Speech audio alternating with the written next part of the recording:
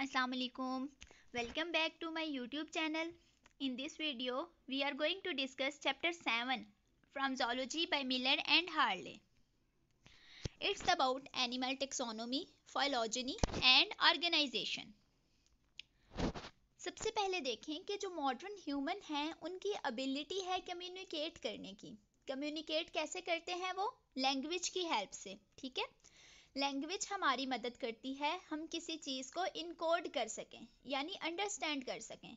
इसके अलावा लैंग्वेज हमारी हेल्प करती है कि हम किसी चीज़ को क्लासीफाई कर सकें इनटू डिफरेंट कैटेगरीज अब देखें वन मिलियन एनिमल स्पीशीज हैं। उनके लिए भी कोई स्पेसिफिक नेमिंग सिस्टम होना चाहिए ना, जिसकी हेल्प से हम उनको क्लासीफाई कर सकें। तो जो नेमिंग सिस्टम है, उसके कुछ करेक्टर्स भी होने चाहिए स्पेसिफिक उसमें सबसे पहला कैरेक्टर है ऑर्डर यानी नेमिंग सिस्टम में ऑर्डरिंग होनी चाहिए। जो फैमिली लेवल है, उसको स्पेसिफिक नाम देना चाहिए। जो जीनस का लेवल है, उसका स्पेसिफिक नाम होना चाहिए, ठीक है? ताकि एक ऑर्डर में सारे हमारे पास ना रिजल्ट्स आ जाएँ। सारे जो ऑर्गेनिजम्स की क्लासिफिकेशन है ना, जो क्लासिफिकेशन के लेवल्स हैं सारे, उनका स्पेसिफिक नेम हो, ठीक है? ताकि एक सीक्वेंस क्रिएट हो जाए। सेकंड क्या होना चाहिए? कि relationships that arise from evolutionary processes यानी हमने रिलेशनशिप जो है, उनको किसकी बेस पे लेना है? एवोल्यूशन की बेस पे. यानी एवोल्यूशन में एवोल्यूशनरी जब वो रिलेशनशिप है जो उनका, उसको हमने स्टडी करना है कि जब एवोल्यूशन हो रही थी तो ऑर्गेनिजम्स का आपस में क्या रिलेशन था? यानी इंसेस्टर सेम है डिफरेंट है, ये सारी चीज़ों की बेस पे रिलेशनशिप्स होने चाहिए। अब हमारे पास एक और टर्म है सिस्टमैटिक्स सिस्टमैटिक्स क्या है? कि इसमें हम स्टडी करते हैं kind and diversity of organisms यानी कितनी तरह के ऑर्गेनिजम्स प्रेजेंट हैं and the evolutionary relationship among them और उनके दरमियान एवोल्यूशनरी रिलेशनशिप कैसा है? ये दो बातें हम सिस्टमैटिक्स में स्टडी करते हैं। उसके बाद हमारे पास एक और टर्म है व्हाट इज़ टेक्सोनोमी टेक्सोनोमी होता है बेसिकली क्लासिफिकेशन ऑफ़ ऑर्गेनिजम्स इसमें हम ऑर्गेनिजम्स को क्लासीफाई करते हैं। नेक्स्ट एक टर्म है व्हाट इज़ फाइलोजनी फाइलोजनी क्या होता है कि इसमें हम स्टडी करते हैं evolutionary relationship evolutionary history of group of organisms अब यहाँ पे आपको एक बात समझ आ गई होगी कि जो सिस्टमैटिक्स है वो कम्बिनेशन है दो चीज़ों का टेक्सोनोमी एंड फाइलोजनी सिस्टमैटिक्स में हम डाइवर्सिटी को भी देखते हैं। इसके साथ साथ हम सिस्टमैटिक्स में एवोल्यूशनरी रिलेशनशिप्स को भी स्टडी करते हैं। अच्छा अब हम बात करेंगे टेक्सानोमिक हायरार्की की। सबसे पहले कार्ल्स लीनियस ने इस चीज़ को नोटिस किया, ठीक है? उसने डेवलप किया एक स्पेसिफिक सिस्टम जिसको अब हम जानते हैं बाइनोमियल सिस्टम यानी एक इंडिविजुअल के दो नाम होते हैं, ठीक है? अभी इसको हम डिटेल में देखेंगे। अब इस क्लासिफिकेशन के अकॉर्डिंग क्या था कि जो डिफरेंट स्पीशीज़ हैं, उनको ग्रुप किया जाता है ब्रॉडर कैटेगरीज में। और उनके दरमियान जो करेक्टर सिमिलर है ना, उनकी बेस पे हम उनको डिफरेंट कैटेगरीज में प्लेस कर देते हैं। उसके बाद हमारे पास एक और टर्म है टेक्सॉन टेक्सॉन क्या होता है? हम एनिमल्स को, ऐसे एनिमल्स को जो शेयर करते हैं पर्टिकुलर सेट ऑफ़ करेक्टरिस्टिक्स उनको हम एक ग्रुप में कंबाइन कर देते हैं। Taxon is actually grouping of animals that share a particular set of characteristics forms and assemblage अब एग्ज़ाम्पल से आपको बेटर अंडरस्टैंडिंग हो जाएगी।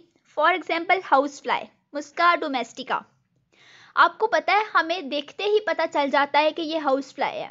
यानी उसके करेक्टर्स इतने स्पेसिफिक हैं।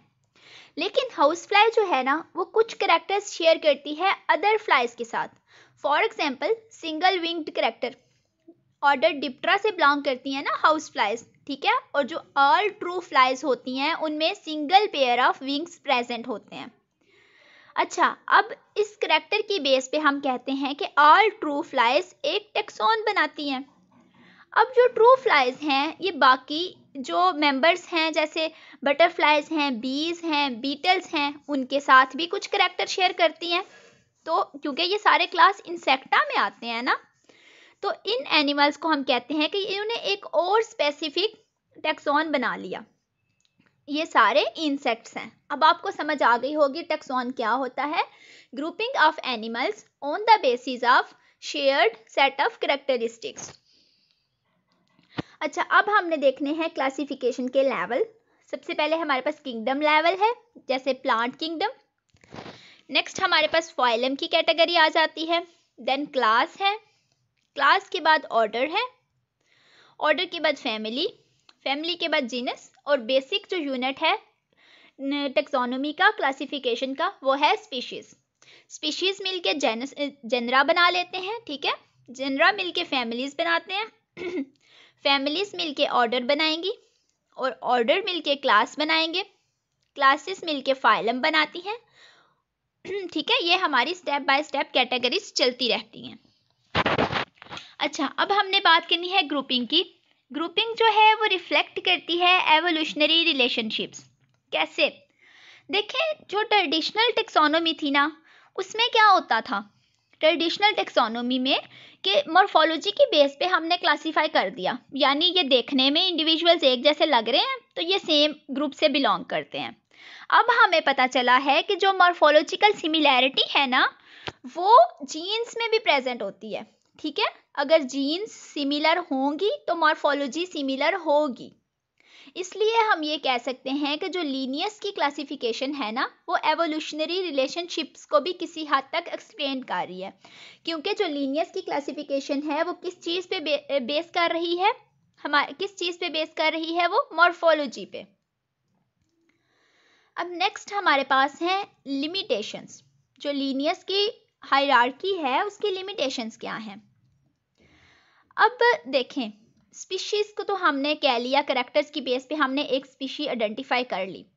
ठीक है? लेकिन स्पीशी लेवल से जो अबव लेवल है, जैसे जीनस का लेवल है तो हमें ये नहीं पता कि कौन से पर्टिकुलर करेक्टर्स मिल के एक टेक्सोन बनाएँगे।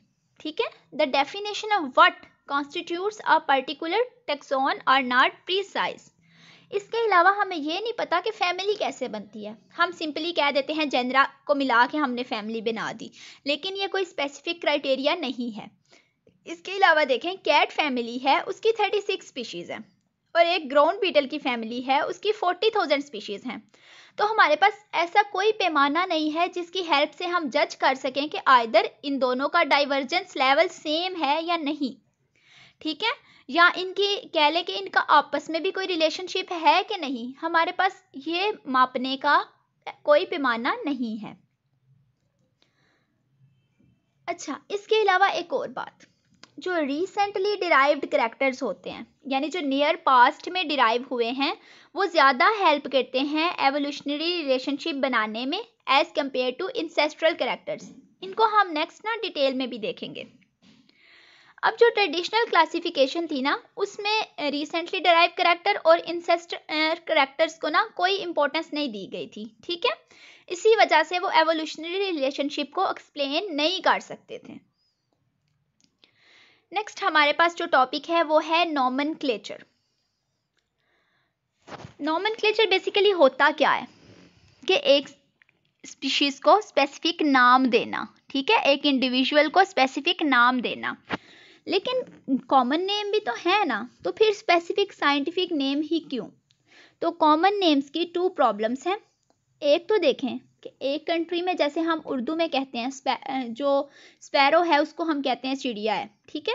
लेकिन अगर हम यूएसए की बात करें तो वहाँ पे स्पैरो बोला जाएगा, ठीक है? यानी ये वेरी करते हैं कंट्री टू कंट्री और इसके अलावा ये जो है ना स्पीशीज़ लेवल उससे हायर जो टेक्सोनॉमिक कैटेगरीज है ना उनके लिए हैं। जैसे चिड़िया की बहुत बहुत ज़्यादा स्पीशीज़ है, ठीक है? लेकिन हम हाई लेवल की बात करते हैं कि ये चिड़िया है, यानी स्पीशीज़ लेवल से जो अबव टेक्सोनॉमिक लेवल हैं, हम उनकी बात करते हैं। कॉमन नेम्स उनको बता रहे हैं, ठीक है? वो स्पेसिफिक स्पीशीज़ को नहीं बता रहे। अच्छा अब नॉमन है क्या? डिस्टिंक्टिव नेम देना है हर स्पीशीज़ को। ये यूनिवर्सल होगा। और ये इंडिकेट करेगा लेवल ऑफ़ क्लासिफिकेशन यानी हमें पता चल जाएगा कि ये किस लेवल की बात हो रही है. स्पीशीज़ के लिए नाम डिफरेंट होगा फैमिली के लिए नाम डिफरेंट होगा. हम एक नज़र में देख सकते हैं कि ये कौन से टेक्सोनॉमिक लेवल की बात हो रही है. अच्छा अब दो एनिमल्स का एक ही नाम नहीं हो सकता. हर एनिमल का सिर्फ़ एक नाम होगा, ठीक है? जो international code of zoological nomen जो है, वो इस चीज़ को वेरीफाई करेगा. अच्छा अब हमने स्टार्ट में बात की थी कि जो लीनियस का सिस्टम है वो बाइनोमियल है। यानी एक स्पीशीज के दो नाम हैं, एक इंडिविजुअल के दो नाम हैं। एक स्पेसिफिक नेम है, ठीक है, और एक जेनरिक नेम है। अब जो जेनरिक नेम है, वो कैपिटल लेटर से स्टार्ट होगा, और जो स्पीशीज एपिथेट है, वो लोअर केस लेटर से स्टार्ट होगा, ठीक है? और इसको या तो हम इटैलिक करते हैं, या फिर अंडरलाइन करते हैं। जैसे होमोसेपियंस इसको अगर हम राइटिंग में लिखेंगे तो अंडरलाइन करेंगे, लेकिन अगर हम इसको टाइप कर रहे हैं तो अटैलिक कर सकते हैं। राइटिंग में इसको इटैलिसाइज नहीं करना। नेक्स्ट जो हमारा टॉपिक है, वो है molecular approaches to animal systematics अब देखें, हमने पहले भी बात की कि वो इंडिविजुअल्स जिनमें मार्फोलॉजिकल सिमिलैरिटी होगी। तो इसका मतलब है कि उनकी जीन्स में भी सिमिलैरिटी है। तो अभी भी यही बात रिपीट हो रही है कि एनिमल्स जो रिलेटेड होते हैं ना, उनकी जीन प्रोडक्ट्स यानी कि प्रोटीन्स और जीन्स वो भी रिलेटेड होती हैं, यानी सिमिलर होती हैं। और रिलेटेड एनिमल्स का जो डीएनए होता है, वो भी कॉमन इंसेस्टर से आता है। Genes and proteins of related animals are more similar than genes and proteins from distantly related animals यानी जो क्लोजली रिलेटेड एनिमल्स होंगे, इसका मतलब है कि उनका इंसेस्टर सेम है, क्योंकि उनकी जीन्स और प्रोटीन्स सेम हैं। नेक्स्ट हम बात करते हैं माइट्रोकॉन्ड्रियल डीएनए की, जो कि मालिकुलर स्टडीज़ में बहुत ज़्यादा इंपॉर्टेंट होता है। अच्छा माइट्रोकॉन्ड्रिया ही क्यों? इसके हमारे पास कुछ रीजंस हैं। सबसे पहली तो ये है कि माइट्रोकॉन्ड्रिया का अपना जेनेटिक सिस्टम होता है, यानी उसका अपना डीएनए होता है, और वो साइटोप्लाज्म से आता है मदर के साइटोप्लाज्म से। और बेसिकली हम ना माइट्रोकॉन्ड्रिया का जो डीएनए होता है, उसको मेटरनल लिनिएज को ट्रेस करने के लिए स्टडी करते हैं, क्योंकि माइट्रोकॉन्ड्रियल डीएनए कहाँ से आता है? मदर से। अच्छा अब ये हमारे पास क्लासिफिकेशन की आ गई हेडिंग्स डोमेन्स एंड किंगडम्स ये आपको पता है हाईएस्ट लेवल है क्लासिफिकेशन का। अच्छा अब हमारे पास ना एक स्पेसिफिक मालिक्यूल है। अभी तो हमने माइट्रोकॉन्ड्रियल डीएनए की बात की ना। इसके अलावा भी हमारे पास एक मालिक्यूल है, जो कि है राइबोसोमल आरएनए अब राइबोसोमल आरएनए ऐसा आरएनए है जो अर्ली लाइफ में इवॉल्व हुआ था। और तब से अब तक इसमें बहुत माइनर चेंजेस आई हैं। यानी कह लें कि ये रेजिस्ट करता है चेंज को। और इसका जो फ़ंक्शन है ना राइबोसोमल आरएनए किसमें हेल्प करता है? राइबोसोमल सिंथेसिस में, ठीक है? इसका जो फ़ंक्शन है, वो भी ऑलमोस्ट यूनिवर्सल है। अच्छा अब मैंने एक बात की कि जो राइबोसोमल आरएनए है, उसमें चेंज बहुत स्लो आया है। यानी वो रेजिस्ट करता है म्यूटेशन को रेजिस्ट करता है चेंज को। इस चीज़ को हम क्या कहते हैं? एवोल्यूशनरी कंजर्वेशन एवोल्यूशनरी कंजर्वेशन क्या है? कि लेस ससेप्टिबिलिटी टू म्यूटेशन और इसका मतलब ये भी है कि जो क्लोजली रिलेटेड ऑर्गेनिजम्स हैं ना, उनका सिमिलर राइबोसोमल आरएनए होगा। जो डिस्टेंट्री रिलेटेड है उनका कम सिमिलर होगा, ठीक है? क्योंकि उनके इंसेस्टर सेम नहीं है। नेक्स्ट हमारे पास है मालिक्यूलर सिस्टमेटिक्स अब हम इसको स्टडी कैसे करते हैं? फॉर एग्ज़ाम्पल देखें, हमारे पास दो ऑर्गेनिजम्स हैं। इनका हमने ले लिया राइबोसोमल आरएनए दोनों का, ठीक है? अब राइबोसोमल आरएनए लेके हमने जो उनकी बेसिस हैं, जो सीक्वेंस है बेसिस की, हम उसको कंपेयर करते हैं, ठीक है? हम देखते हैं पोजीशन वन पे ए जो है वो प्रेजेंट है, ठीक है?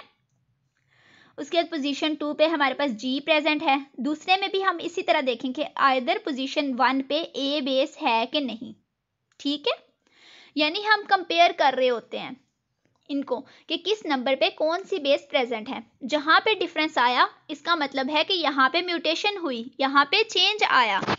इस सारे डाटा को हम एंटर करते हैं कंप्यूटर प्रोग्राम्स में और एवोल्यूशनरी रिलेशनशिप्स बनाते हैं। ठीक है? उसके बाद हम बताते हैं कि ये किस कैटेगरी में फॉल होंगे ये ऑर्गेनिजम्स। अब जो स्टडीज़ हैं राइबोसोमल आरएनए की, उन्होंने ये बताया है कि जो लाइफ है वो शेयर करती है कॉमन इंसेस्टर और थ्री मेजर एवोल्यूशनरी लिनिएजेस हैं, जिनको अब हम स्टडी करेंगे। First one is you bacteria, जिसमें आते हैं ट्रू बैक्टीरिया। ठीक है, ये मोस्ट अबंडेंट हैं। सेवेंटी फाइलम लेवल लिनिएजेस हैं, यानी इनके सेवेंटी फाइला हैं। इनमें से सेवन फाइला जो हैं, वो ह्यूमन पैथोजिन है। और यहाँ पे ना ये एक बात है कि जो रूट है ना राइबोसोमल आरएनए की, उसकी दो ब्रांचेस हैं। एक हमारे पास है यू बैक्टेरिया और एक यू कैरिया ठीक है? और आर्किया ये एक ब्रांच शेयर करते हैं दोनों, और जो सेपरेट ब्रांच है वो यू बैक्टेरिया है। अब आर्किया की बात करें तो माइक्रोब्स ये भी माइक्रो ऑर्गेनिज्म है, ठीक है? लेकिन बैक्टीरिया से डिफरेंट हैं। और इनको हम एनशियंट बैक्टीरिया भी कहते हैं। ये बेसिकली ना एक्सट्रीम कंडीशंस में रहते हैं, ठीक है? और इनके कुछ करेक्टर्स यू कैरिया से ज़्यादा मिलते हैं एज कंपेयर टू बैक्टीरिया ठीक है? स्पेसिफिकली क्रोमेटन का स्ट्रक्चर और रेगुलेशन ऑफ़ जीन फ़ंक्शन इसके अलावा सेल वॉल स्ट्रक्चर अच्छा ये एक्सट्रीमोफाइल्स होते हैं, यानी ये एक्सट्रीम कंडीशंस में रहते हैं। जैसे आपने टैग पॉलीमरेज का सुना होगा, जो थर्मस एक्वेटिकस बैक्टीरिया से लिया जाता है, ठीक है? जो कि हॉट स्प्रिंग्स में रहता है। यूकैरिया की बात करें तो यूकैरिया हमारे पास आ जाते हैं मल्टी सेलुलर कम्प्लेक्स ऑर्गेनिजम्स ठीक है? जिसमें डिवीज़न ऑफ़ लेबर होती है कंपार्ट कंपार्टमेंटलाइज्ड सेल होते हैं। यानी कंपार्टमेंट्स बने होते हैं। माइट्रोकॉन्ड्रिया यहाँ पे है, ये जैसे सेल है माइट्रोकॉन्ड्रिया इधर है न्यूक्लियस इधर है, ठीक है? यानी कंपार्टमेंट्स बने होते हैं और हर कंपार्टमेंट ने अपना अपना काम करना होता है। और न्यूक्लियर मेम्ब्रेन जो है, वो सेपरेट कर देती है ट्रांसक्रिप्शन एंड ट्रांसलेशन को इनमें। आपको पता है ट्रांसक्रिप्शन जो है, वो न्यूक्लियस में होगी ट्रांसलेशन साइटोप्लास्ट में होगी। माइट्रोकॉन्ड्रियल एंड क्लोरोप्लास्ट मेम्ब्रेन्स जो हैं, वो कंपार्टमेंटलाइज करती हैं एनर्जी प्रोसेसिंग को। यानी वहाँ पे एनर्जी सेंसिस हो रही होती है। True multicellularity evolution of tissues organs organ systems सिर्फ़ यू कैरिया में प्रेजेंट हैं, ठीक है? ये देखें, ये हमारे पास है लाइफ का कॉमन ओरिजिन ठीक है? इसमें एक यू बैक्टीरिया है, फिर आर्किया की डोमेन है and then eukarya next हमारे पास है एनिमल सिस्टमेटिक्स की, जो अप्रोचेस हैं, इनको हम इंशाल्लाह नेक्स्ट लेक्चर में डिटेल से स्टडी करेंगे। So stay connected and thank you very much. Good luck.